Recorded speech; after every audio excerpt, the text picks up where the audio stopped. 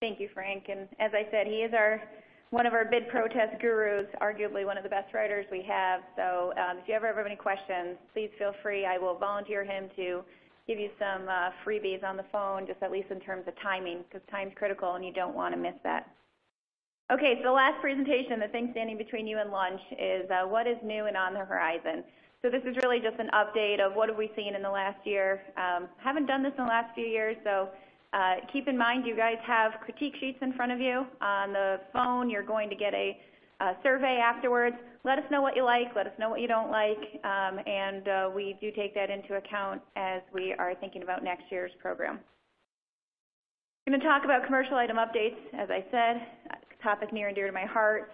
Uh, President Trump's Buy American executive order Privacy Act training, security clearance requirements. I'm definitely seeing a lot more clients with security clearance questions and concerns. Cybersecurity updates, Freedom of Information Act, gift-giving restrictions. These are gift-giving restrictions with respect to federal government employees and what they can and can't receive. It's important for you to know that as a company. What are you allowed to give federal government employees so you don't get in trouble? And then changes in employment-related requirements. So we're going to focus on, uh, the commercial item updates, the National Defense Authorization Act for fiscal year 2017. There are several provisions that relate to commercial item contracts, and the first is in Section 871. And this requires Department of Defense procurement officials to conduct or obtain market research to support a price reasonableness determination for commercial items in a bid or offer submitted in a, to a solicitation. And I stood here and you go, well, wait a second, market research. Mm-hmm. That's typically what the government has to do before they issue the solicitation. So using it here in the context of market research to determine if a price in a proposal is fair and reasonable already doesn't make sense. Um, but they say that if you have major weapon systems, subsystems, components, they're already getting that information under 10 USC 2379D. This is the uh, part of the code where when major weapon systems and its subsystems components can qualify as commercial items. It already has a requirement to give information to demonstrate price reasonableness. But for all other commercial items, it says procurement officials may require the offeror to submit the information necessary for conducting market research. So um, under FAR 15.4, it's the obligation of the government to conduct a price analysis and determine if a price is fair and reasonable. And more and more we see contract officers putting the onus on the contractor, saying, well, you are better positioned to tell me what prices you sell these goods, commercial goods, to commercial customers or other government customers. So you tell us those prices and we'll tell you if what we're going to pay is fair and reasonable. And well, that's not really where the government's supposed to start. They're supposed to start by some market research. Market research inherently is not just with the offeror. So uh, the other thing that this doesn't really address is what about adequate price competition? If you have adequate price competition, you shouldn't have to justify your price as fair and reasonable. That's the whole point of the competition. If your lowest price or best value is fair and reasonable. So I'm not quite sure how this is going to get implemented. Uh, the next is Section 872, uh, also relating to price reasonableness analysis. And again, this puts one other obligation on offerors, gives you the opportunity to submit information or analysis relating to the value of a commercial item. Now this actually might be help you, helpful, and I don't know if they've intentionally used the word value or not, but sometimes it doesn't just come down to price. I have clients who sell commercial items and it, you know, they have a price and maybe they're the only one who really offers that commercial item, but they sell it to the government and to commercial marketplace, so it's still a commercial item, even if they're sole source. And they need to show that their price is fair and reasonable. And if the government looks at the cost and profit elements, the profit's going to be more than what the government's typically willing to pay. So maybe this value prospect would give a offer an opportunity to show that you this is a very valuable technology or, or whatever basis to hopefully uh, validate a higher profit. Next is Section 873. Uh, this also I think will be helpful for contractors. It requires the Department of Defense to maintain a centralized capability to provide assistance to defense agencies when they need to make commercial item determinations, conduct market research, or analyze price reasonableness. The market research reference is a requirement that prior to issuing a solicitation, contracting officers are supposed to conduct market research to determine if there are commercial items out there that satisfy their needs. If so, they're supposed to issue a commercial item solicitation. It is better for contractors if the government is sharing this information across the agency because we often find times where you're selling one thing to one agency within Department of Defense that's considered a commercial item, and then another agency issues you a non-commercial item solicitation. And then you have to go convince them. Um, for example, when it comes to advertising services, I see some solicitations that are issued as commercial item and some non-commercial item. Well, isn't really advertising advertising? Is, how is it different? So the agencies, even within the Department of Defense, are not consistent in this regard, and so this might help that. Also, as they start to compile commercial item determinations, that not only can help you across agencies, but also as um, a higher tiered contractor. More and more our subcontractors are telling their primes, hey, we're a commercial item contractor, these are commercial items. And they say, well, give me proof that the government has accepted your position that this is a commercial item. Or, or they ask the alternative, has the government ever denied the request for commercial item status? So having this kind of library of documents that potentially could be FOIA-able, could be requested through FOIA would be helpful. Section 874 requires uh, revisions to the DFAR to provide a list of defense unique provisions that do not apply to commercial item prime contracts, subcontracts, and cost contracts.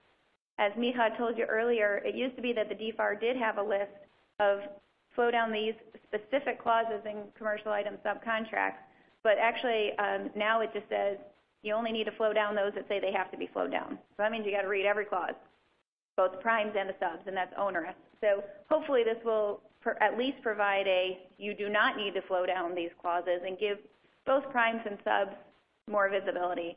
We spend a lot of our days, and I know our clients spend a lot of money trying to figure out what do they need to flow down, what do they need to accept. So I am all for enhanced transparency in this area.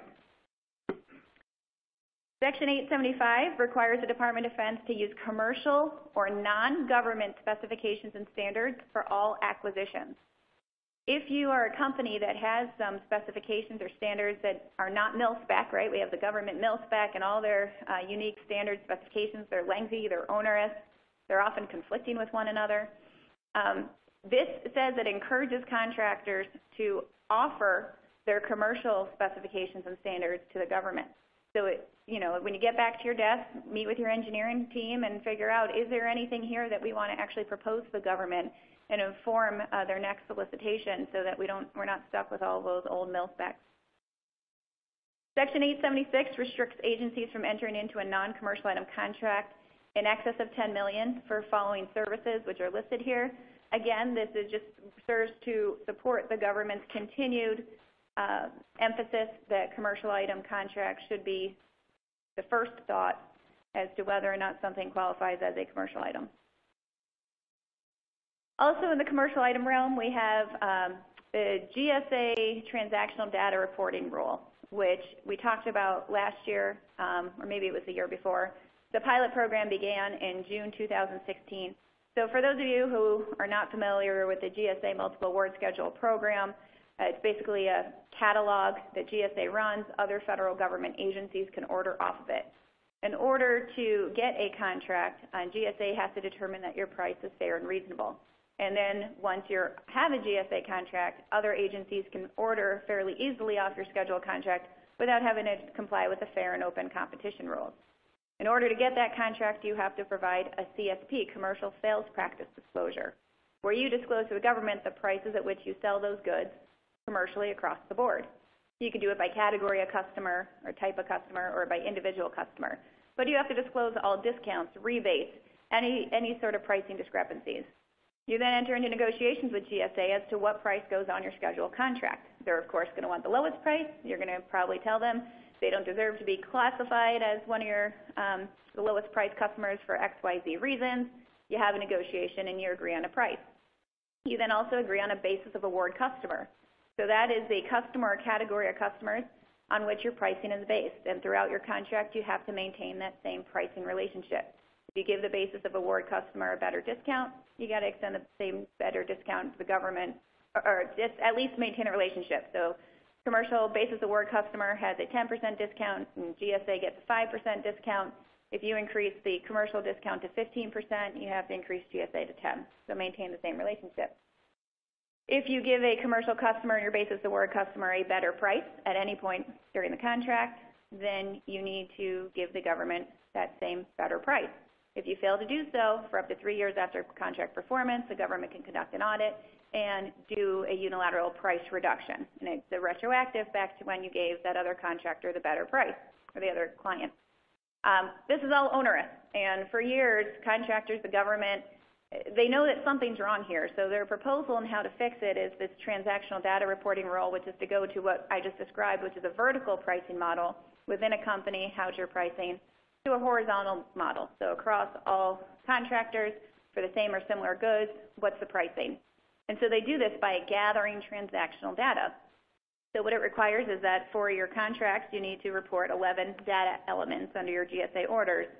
Contract number, order number, non-federal entity, description of the deliverable, manufacturer name, part number, unit of measure, quantity, universal product code, price per unit, total price. So um, you have to gather all that and submit it for each um, order that you receive. This was started as a pilot program. It was limited to 30% of the schedule contracts and about 43% of the GSA schedule sales volume. It was optional to those schedules that were in the pilot. Um, if they currently had a contract, it was optional, but new uh, offerors trying to get contracts in those schedules, uh, they had to submit or they had to participate in this pilot program. And if a contractor had a contract up for the five-year renewal, um, they also had to participate. Um, there was, with the voluntary opt-in, over 1,000 contractors opted into the pilot. So the update here is that in August 2017, GSA made participation by new contractors to be voluntary as well because they've had enough opt-in. So by a show of hands in the room, anyone doing transactional data reporting on a scheduled contract? And for those on the phone, we see no hands, so can't figure out how it's going. The next we have Trump's uh, Buy American and Hire American executive order issued in April 2017. I have the language of the executive order here. Uh, basically, it is requiring um, executive branch to maximize, consistent with federal law through terms and conditions, the use of goods, products, and materials produced in the United States. For uh, produced in the United States means for iron and steel products, all manufacturing processes, from the initial melting stage to the application of coatings that occur in the U.S. Um, this is not the same standard that we see under the Buy American Act or under the Trade Agreements Act. Um, so what does this really do? Well, rest assured, this doesn't change really anything that we're all used to, which is we have the Buy American Act, we have the Trade Agreements Act, we still have um, the authorized exemptions under the Buy American Act, and nothing has changed that. Buy American Act is a price preference statute. It doesn't mean that you cannot offer a non-U.S. product, or, I guess I'd say a foreign end product. It just means that you need to disclose that, and then the government is going to evaluate your price, your proposed price differently than it will a domestic product. Uh, Trade Agreements Act is different. You cannot supply a non-conforming Trade Agreements Act product unless um, there's been a waiver of the requirement, an exception. But um, so it really doesn't change that much. Well, what does it do? Um, well, first of all, what it really does is that it now it changes agencies' Section 3 reporting requirements. So they have to report on the training associated with Buy American Act, um, whatever marketing and outreach they're doing, and they have to summarize their compliance with Buy American Act requirements. So what this is doing is contracting officers who maybe weren't paying much attention to these requirements, it's now top of mind for them. We've talked about the False Claims Act. We talked about things that are material to the government's decisions to make a payment. This, even though you have your Express Buy American Act certifications, this also is going to be probably something that's more top of mind for agencies and something they can point to as material to their decision to render payments. Privacy Act training. If you are subject to the Privacy Act, so if you have a system or records that you have to maintain on behalf of an agency, typically you have personally identifiable information running through your system, then you need to comply with the Privacy Act. And in January 2017, there was a new FAR clause that actually requires training, Privacy Act training for employees who are handling that information. Um, there's some minimum requirements the training must cover. You have to re- uh, maintain records to ensure that you're tracking training, and this needs to be flowed down to subcontracts, including commercial item subcontracts, that similarly are subject to the Privacy Act. Training was always a good practice. Um, we have a lot of clients who are subject to both HIPAA and the Privacy Act. There is a lot of overlap. Some, there are a few nuances. And if you already are training annually on HIPAA, you can add a Privacy Act component to it without much uh, more effort. Security clearance requirements. So these are only companies who have access to classified or uh, secret, top secret information. But there were changes in May of 2016 to the National Industrial Security Program Operating Manual, otherwise known as the NISPOM. And uh, it requires that by November 30th of 2016, there needed to be a written program in place, and it was a, an insider threat detection and avoidance program. Um, so it basically is going to require that there's um, a way to identify potential insider threats, detect it, and uh, try to plan so that you avoid insider threats as much as possible. Insider threat is the likelihood, risk, or potential an insider will use his or her authorized access wittingly or unwittingly to do harm to the security of the United States. Um, this really is focused on the folks who actually get access to classified information if you have an insider threat because someone who does not have a security clearance is accessing classified information, I think you have a different big problem. But uh, so it requires you to mitigate the risk of an insider threat and have this written program. Uh, the next slide also talks about some of the other things you need to have, including a senior company official as the Insider Threat Program Senior Official. The new title, it could also be the same person as your Facility Security Officer. You need to conduct and document annual self-inspections. Um, and here are the other requirements here. So I, I, know this doesn't really apply to everybody, but it's something if you have not already implemented it, I'm sure DSS has already been on you on, on your case about it, but just wanted to point that out. Also relating to security clearance requirements, in May of 2016, DSS issued a new guide on mitigating and managing affiliate operations. And these are just for entities that are bound by foreign ownership control or influence mitigation agreements. So if you have a company with a security clearance, especially if you're doing some mergers and acquisitions, if they are owned or controlled uh, by foreign companies or individuals, you have a concern where you have foreign ownership control or influence. And in order for you to maintain your security clearance, you need to give DSS certain reassurances that folks, who, the foreign owners, will not have access to classified information and are sufficiently insulated from certain parts of the business. There are different FOCI mitigation agreements you can have. You have SSA, uh, SCA, all these lovely acronyms. Uh, you can even potentially need to have a proxy board, but uh, just depending on the level of foreign involvement. Uh, but one of this new requirement is requiring contractors to submit an affiliated operations plan. And so if you have affiliates that do not have security clearances, then you need to get basically approval before you have common third parties that you use, whether they're accountants, whether they're um, lenders, uh, lawyers, for example. So if we are representing a parent company and a bunch of their subsidiaries, and one of the subsidiaries is cleared but not the others, they'd have to identify Foley as part of the affiliated operations plan, again, to make sure that operations are sufficiently distinct. DSS has a template for this, but it does require a lot, of, a lot more procedures and compliance. Cybersecurity. Everyone has been asking about cybersecurity with a looming deadline. I have to admit, cybersecurity is not my forte. It is Frank's forte. So please talk to Frank about cybersecurity during the break. But, so we have the FAR clause, 5224-21, basic safeguarding of covered information systems. Uh, this, this clause addresses federal contract information, information not intended for public release, provided by or generated for the government under a contract uh, with the government and uh, does not include information provided by the government to the public, such as information on public websites, or simple transactional information, such as those necessary to process payments. A covered contractor information system means an information system that's owned or operated by a contractor that processes, stores, or submits this federal contract information. Um, typically, compliance with this is not as onerous. Uh, you'll see a reference to the NIST standards here that are listed on the slide. Um, in order to comply with this clause, you're only subject to 15 standards relating to six of the 14 security control families in the NIST.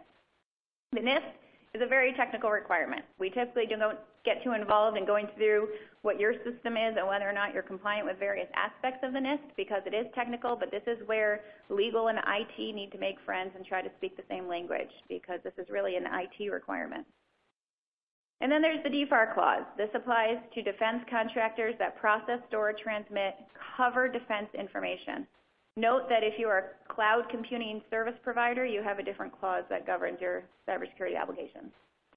Covered defense information is unclassified, controlled technical information that's described in the CUI registry or other information that requires safeguarding or dissemination controls and is either marked or otherwise identified in the contract, task order, delivery order, um, and provided to the contractor by or on behalf of DoD in support of performance of the contract, or collected, developed, received, transmitted, stored, or used uh, by or on behalf of the contractor in support of performance of the contract. Note, it doesn't require marking. So it's marking or um, as otherwise identified in the CUI registry or as identified in the contract. So it's not always something that's going to jump out to you. However, if you have ITAR information, pretty much you're covered. So that's a safe bet.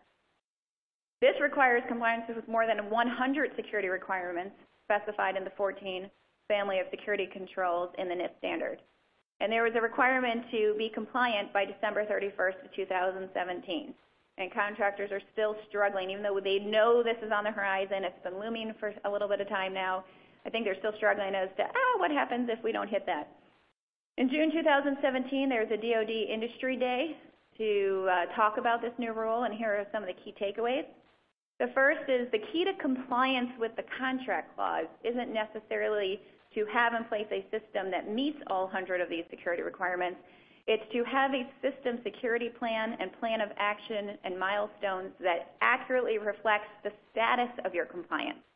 So if you do not yet have compliance with certain of these attributes and requirements, but you know you will and you have a plan to get compliant, that's what you need to put in your system security plan and plan of action and milestones as to when you're going to be compliant. And if you have that and it's accurate and you're addressing all of the current discrepancies between your current system and the NIST, then you're compliant with the contract clause. Um, the SSP needs to describe the boundary of your information system, the operational environment for the system, how security requirements are implemented, and the relationships or connections with other systems. Uh, DCMA audits are going to focus on verifying that you have an SSP, verifying that you've submitted within 30 days of any contract award through October 2017 a list or notification of requirements that you've not yet compliant with, and is also to verify that you possess an approved external certificate authority issued medium assurance public key infrastructure certificate. Mouthful. Okay, so where there might be gaps between the NIST standards and your current system, address them in the SSP. When you're trying to figure out what is CDI, obviously marking, if it's marked, that's easy. Otherwise, look at the statement of work, the Section I contract clauses, Section J attachments, see if there's anything in there that identifies what's going to be covered CDI. When in doubt, ask the contracting officer for clarification. If you're saying, look, I'm not sure if this is CDI or not, can you let me know? At least you then have that correspondence uh, with them about it. Uh, resist flow down of the requirement to you if performance doesn't require access to CDI. We see this as, well, it's a required flow down to everyone, I'm flowing it all down, and it's really not. So if you know that your performance, you're providing a COTS product, there's no technical data being exchanged, it's not an ITAR item, then you can push back on accepting the clause. A few updates on the Freedom of Information Act. In June of 2016, there was a FOIA Improvement Act of 2016. I talked about FOIA earlier. Uh, FOIA can be used both as a sword and a shield. So you can go out and uh, as a shield, you want to make sure certain your information doesn't get out to the public. But some people forget that you could use it as a sword. Feel free to submit a FOIA request and ask for information about your competitors, see what you get.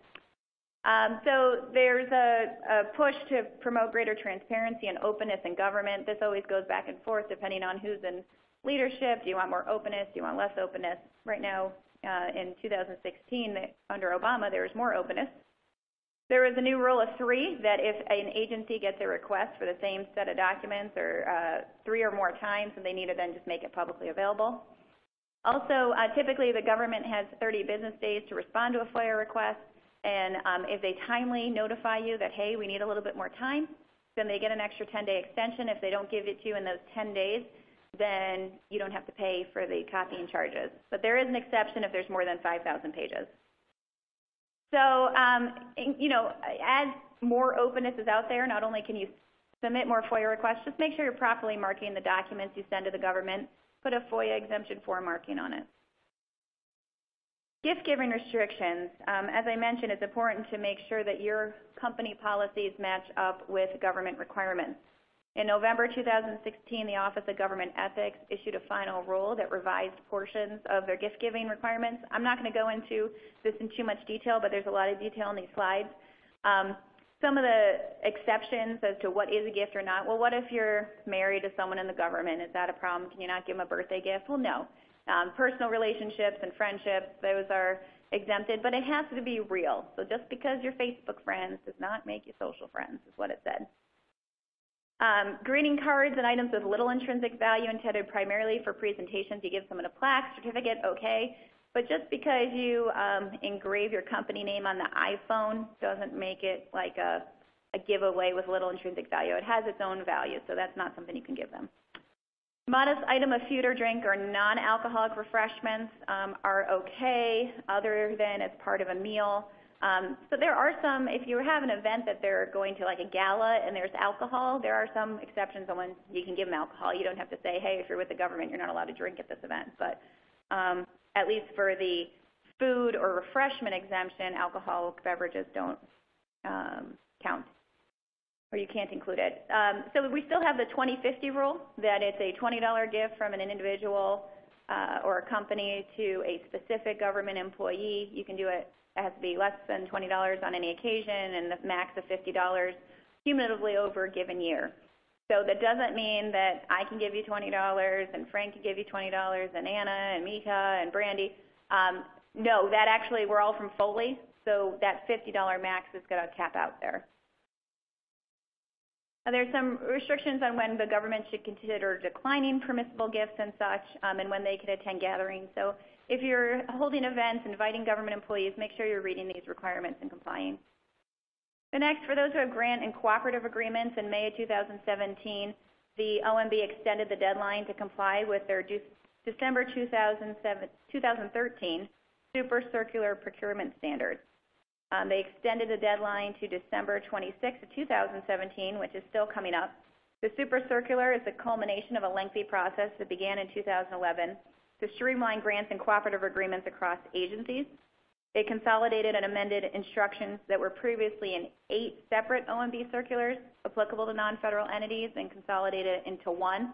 This just relates to the procurement standards. So this is when the um, grant or cooperative agreement holder is buying goods or services underneath its cooperative agreement, what procurement standards does it need to comply with? I have them listed on these next two slides but you need to have a procurement standard and compliance program in place by December 26th of 2017.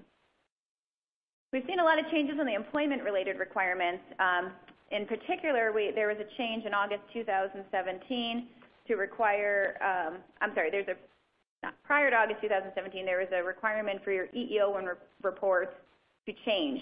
So there was component one data and component two data.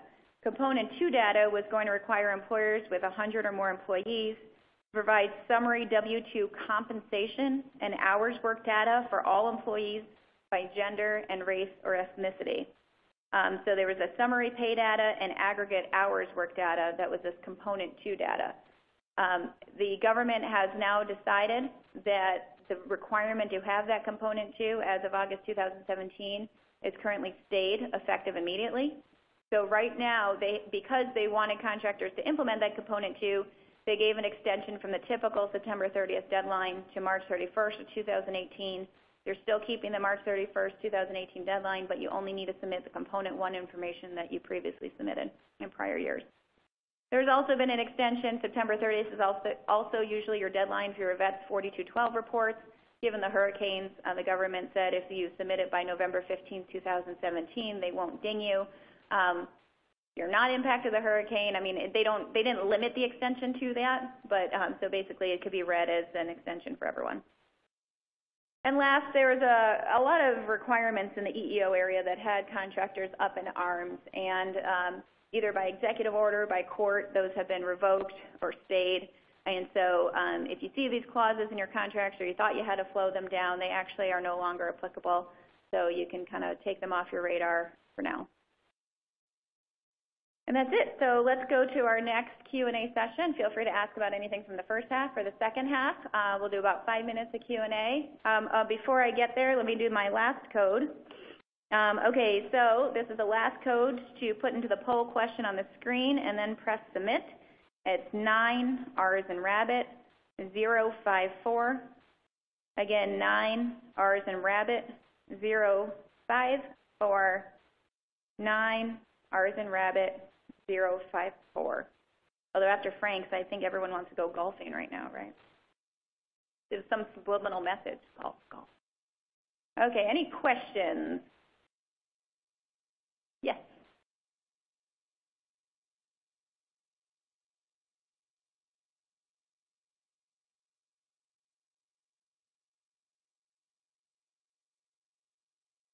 Yeah, so the question is for the NDAA 2000, fiscal year 2017 provisions I referenced, have they been incorporated in the FAR, and whether contracting officers need to comply until they are? The answer is no. Um, as you saw from, I think it was, um, I, re- I don't remember whose presentation, sometimes some of these, re- or Anna's, some of the requirements from 2015 fiscal year NDAA still aren't implemented. And now we have the, for every regulation issued, you have to take two away. How is that going to go?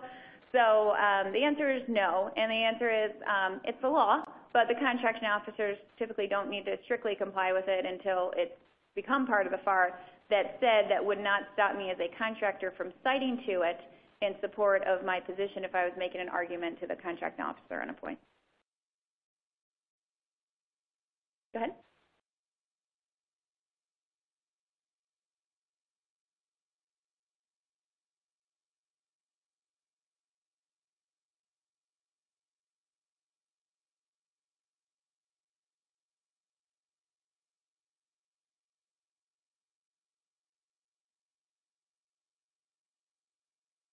So the question is, under the DFAR cybersecurity clause, if you receive a contract after October 2017, do you still submit information to the DoD CIO that you are not compliant with certain NIST requirements?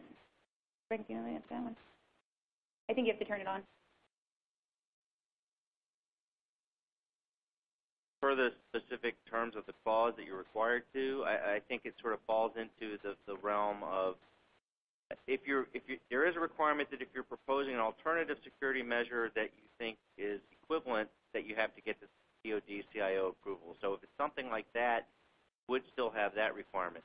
But in terms of the specific requirement that contracts awarded up to that date have that notification to the DoD CIO, I don't think that continues past that point. Um, but that's where you get into the system security plan, where you theoretically have to communicate to the contracting officer if you're not compliant with certain provisions, because otherwise there's sort of an implicit uh, representation that you are compliant with all the NIST standards.